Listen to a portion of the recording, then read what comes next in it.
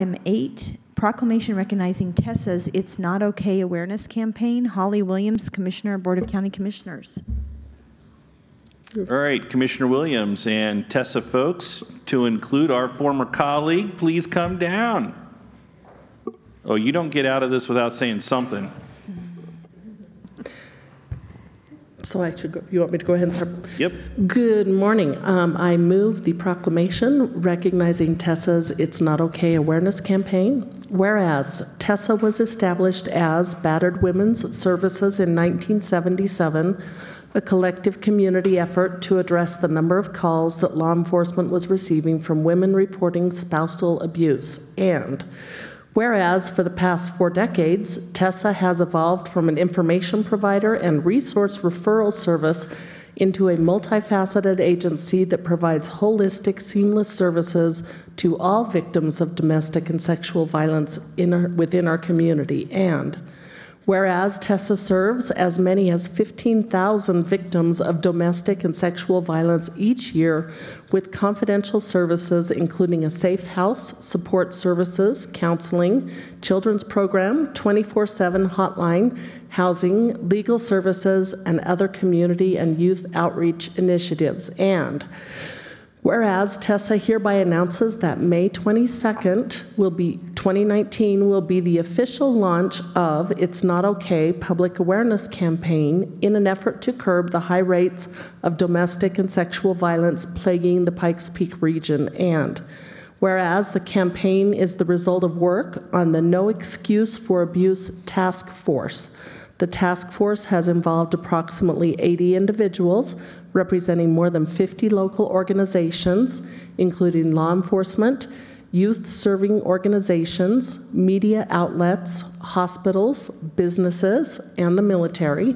And whereas the campaign has a variety of facets, including public service announcements that will air on local television and radio, social media, and printed promotions the public service announcements share the message, it's not okay, in the context of all forms of domestic violence to include verbal, emotional, and financial abuse, in addition to physical abuse usually associated with domestic violence. And Whereas the campaign will roll out additional features throughout the year, including a youth focused pilot program with Harrison School District 2, an elite training team to provide presentations throughout the community, and a workplace campaign. And whereas another goal of the campaign is to let people know that if they abuse, they can get help. The campaign is in partnership with a statewide effort called Stand Up Colorado. Now, therefore, the Board of County Commissioners of El Paso County, Colorado hereby recognizes May 22, 2019 as the official launch date of Tessa's It's Not Okay awareness campaign to reach people of the Pikes Peak region and proclaims its sincere gratitude to Tessa's efforts to initiate a campaign that says it's never okay for someone to be abusive done this 16th day of May 2019 at Colorado Springs, Colorado. The Board of El Paso County the Board of County Commissioners of El Paso County, Colorado, Mark Waller, Chairman, Longinos Gonzalez, Vice Chairman, Stan Vanderwerf, Holly Williams, and Cami Bremer, members, and attested to by Chuck Broerman, County Clerk and Recorder. Second. All right. Uh, please uh, uh, state your name and sign in, and then you may begin. Well, I'm Sherry Lynn Boyles, Executive Director of TESSA, and I want to thank you so much, Commissioner Williams, for presenting that and reading all the way through that. And I feel at home because I have uh, County Attorney May here, who was a, a board president of TESSA at one point, and then uh, Chairman Waller has gone to bat for TESSA before the Gaming Advisory Board, and then Commissioner Vanderwerf has uh, been a supporter of ours, and so I just feel very at home and want to thank all of you for your support and just getting to meet you, Commissioner Gonzalez, and we look forward to getting to know you better. I just want to say very briefly that a while back I was visiting with a CEO of another local nonprofit here in town and was talking a little bit about these efforts that we were making around a prevention campaign. And he said, Oh, to help people get out of these situations, maybe coming up with some strategies for them. And I said, mm, That's not really prevention. Prevention prevention is stopping abuse before it happens. And so the campaign is meant to raise awareness, but also address attitudes and beliefs so that we start changing and curbing these patterns and these trends in our community. To further demonstrate the point, I like to share a little anecdote I call the river. Basically, let's just say that Chairman Waller and Commissioner Vanderwerf are walking along a riverside, uh, along the riverbed, and they look over, and Chairman Waller spots a baby drowning in the river. And so, of course, he's going to jump in and he saves the baby. And then Commissioner Vanderwerf, he sees a baby drowning in the river and he jumps in. And they see more babies coming down the river and they're saving babies. And, and they start shouting to the people on the riverbank saying, Come join us. We need to save the babies. And so people are jumping in and they're saving babies.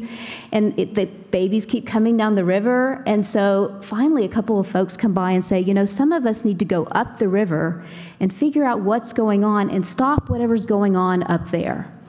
And so this It's Not Okay campaign is Tessa's going up the river. We want to start preventing the abuse. And so we're excited to be launching next week, as you read, Commissioner Williams, on May 22nd, on Wednesday at 11.30 a.m. down at City Hall. And of course, want to invite all of you to participate and come. And so thank you so much for supporting this this endeavor, and thank you for supporting all of the work that Tessa does, serving 15,000 victims or so each year.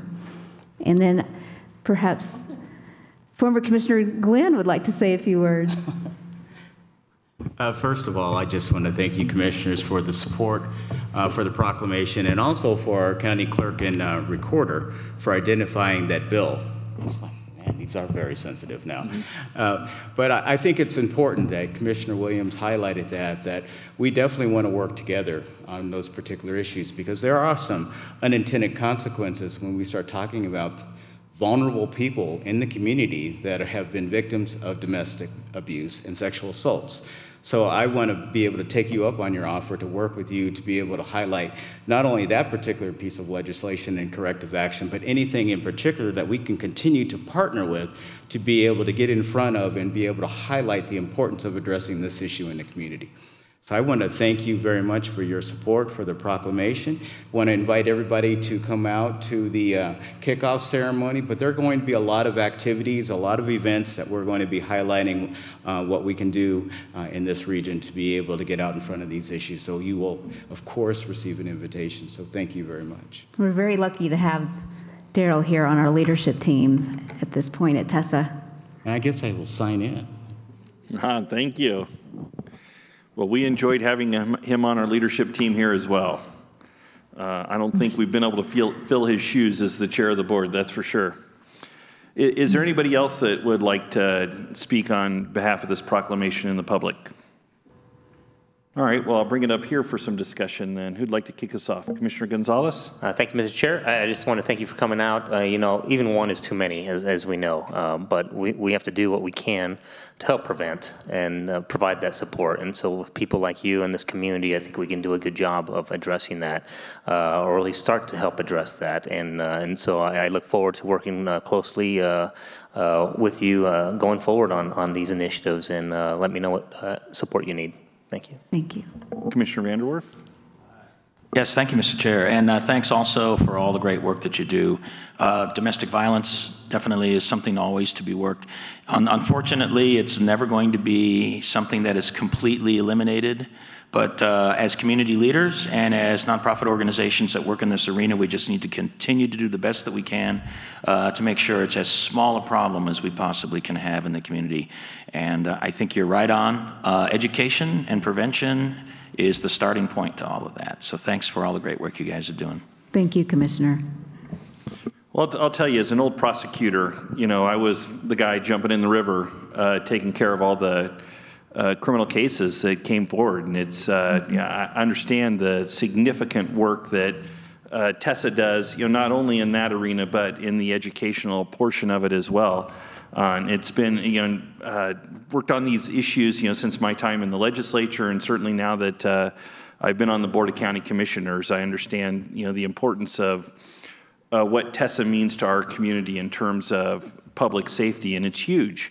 You know, and that's why I, have as frustrating as it is, uh, I have uh, been honored to be able to go uh, to Cripple Creek uh, once a year to fight for dollars for TESSA and CASA uh, when we're uh, dealing with the gaming impact issues, because I understand just you know how significant a piece of the budget that is in order to be able to take care of uh, you know needy families and abused victims in our community.